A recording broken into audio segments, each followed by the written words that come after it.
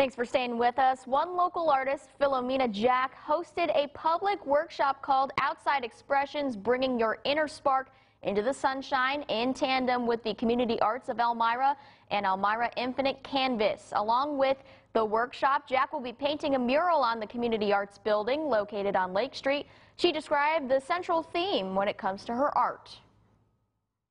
I use the, the term LOL for lots of layers. So it's physically lots of layers of different colored paints, but it's also metaphorical layers for ways that we enliven and lift ourselves. So I will often have things that point up as an idea to be, feel lifted. I will have things that make people smile and another way to lift their mood.